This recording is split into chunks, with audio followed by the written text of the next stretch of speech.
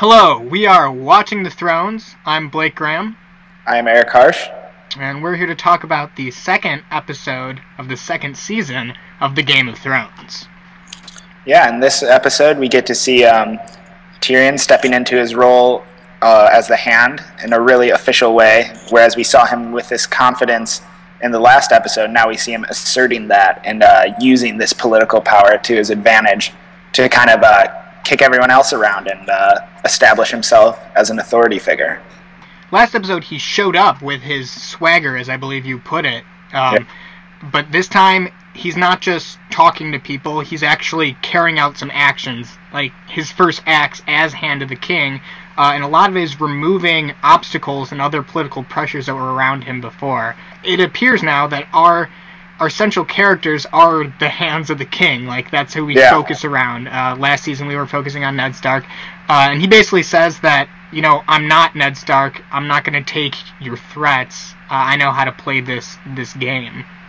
Yeah, and uh, it's interesting that he's become the main character and that he's the one we're rooting for because um, he's easy to root for. He's likable. He's uh, kind of a, he's got this main character sort of uh, charisma, but at the same time, he's a Lannister, which is like we're rooting for him to succeed, but him succeeding means would mean the dissolution of everything we thought was right in the first season. So it's interesting that like whole dichotomy between who you want to root for as a person and then as a bigger political force. Right, but even in that, he's kind of like a Lannister removed from the Lannister clan. I mean, we we learn of his backstory where he's not the favorite son. He's not really the cherished guy. He's the dwarf, and for that, he's like experienced ridicule throughout his life.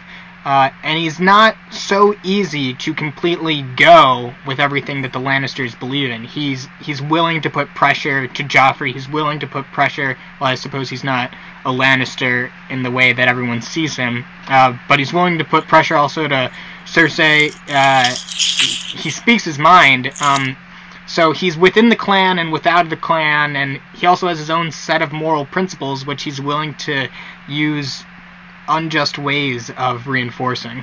Yeah, he's willing to, uh, in order to achieve what he thinks is right, he is willing to do things that are distinctly not right, which makes him a more, uh, more powerful character in this sense than Ned Stark was, because he's willing to uh, be flexible with his, uh, with his, his honor or whatever honor he has, because he's certainly not as honor bound as Ned Stark is. Yeah, and that breaks. That's something I just love about Game of Thrones is the fact that it breaks like our conceived notions of how things should work in cinema or television. Uh, whereas we normally assume that you know the character that is honorable, the character that does the right thing, in the end will succeed. Last season we learned that no, in the cruel world of Westeros, the guy who does good, no matter what, well, that's the perceived right thing. He didn't end up all right. Uh, his you know his family's split apart the entire continent. Uh, they're going to war. He's dead. Uh, his children are either betrothed to, you know, just crazy shithead kings, um, underaged kings, um, or you know, running away, uh, pretending to be boys. So Yeah, it's, uh, honor does not get you much in Westeros. yeah, it's all about power.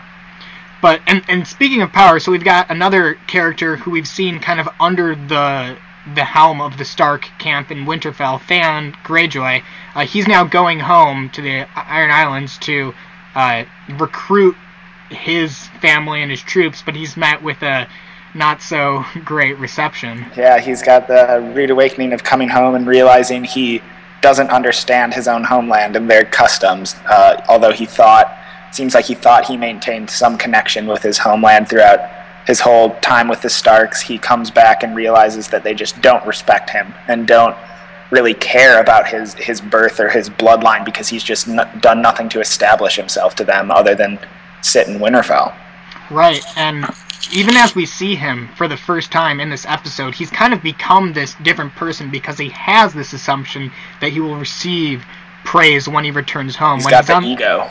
Right, when he's on the ship, he's just, you know, he's just basically ravaging this random. Uh, Taking her to Pound Town. Yeah, this this ship's captain's daughter, I believe she was. She's just naked, and he's just having his way with He's her. using her. He's Yeah, in a very aggressive way that we didn't really see out of him before because he was always basically subservient to the Starks. But then, yeah, he really disappears as a sexual beast because then when he gets to the islands, uh, he encounters this comely female stranger who offers him a ride.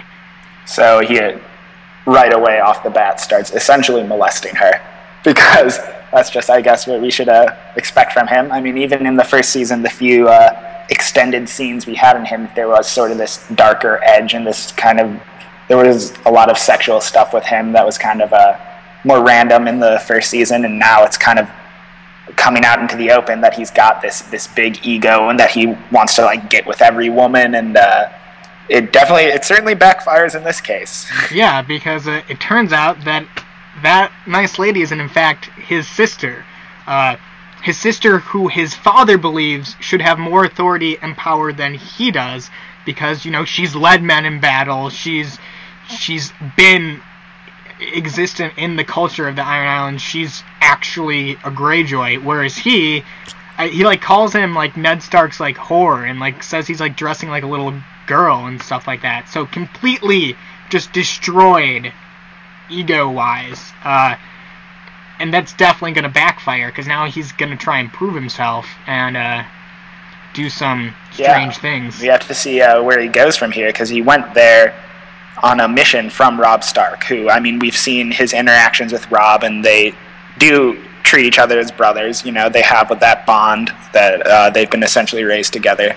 But now he's confronted with just all of this. Uh, this new influence that's telling him not to be loyal to the Starks. That's telling him if you're loyal to the Starks, then you are not worthy of your role here. So he really has to make a choice. Uh, when Theon shows up, uh, he's he's wearing all these nice clothes uh, that are like, I guess, would be regular in Winterfell, which is known to not be a ritzy place. Like they're in the north, they're like, it's not like King's Landing where everything's all pomp and beauty. So he's wearing these kind of reserved clothes, and right away, you know, his father Balon asks him, you know, like, how did you pay for these? Did you pay the gold price or do you pay the iron price?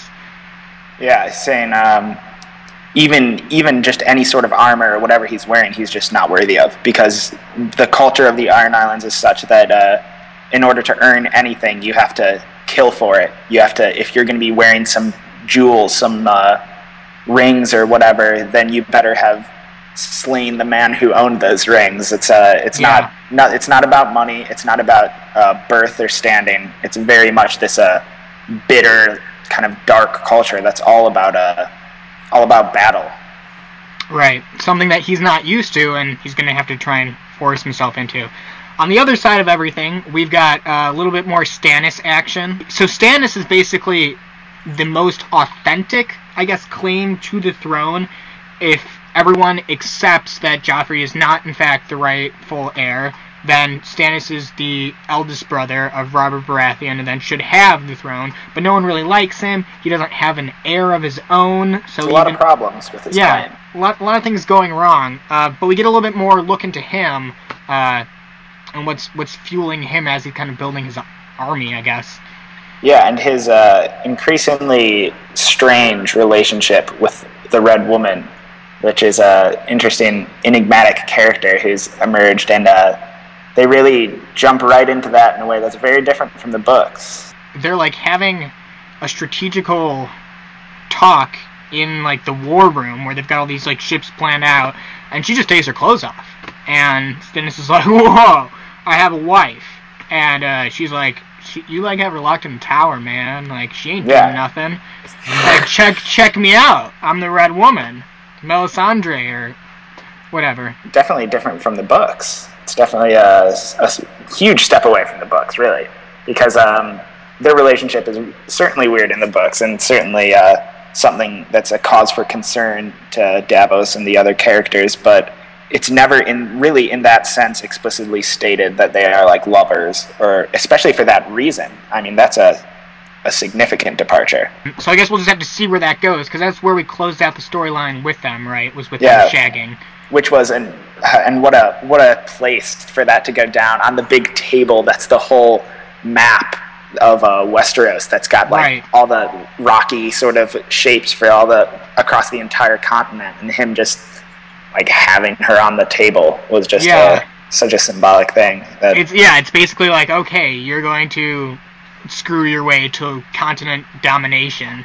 yeah, and, and it all starts there. Uh, we had a lot more with Arya this episode than we did last. It, it actually starts out with her um, pissing in a stream because she's a girl. She has to run away from uh, the entire group she's with, um, and her her relationship with Gendry then uh, kind of builds.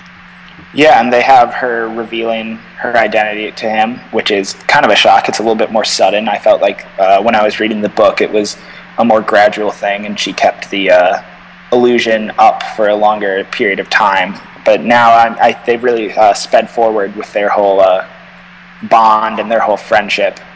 Yeah, I actually thought that was really shocking too, because just because Gendry realizes that she's in fact a girl doesn't mean she has to like say who she is and like claim Yeah. the title in front of him.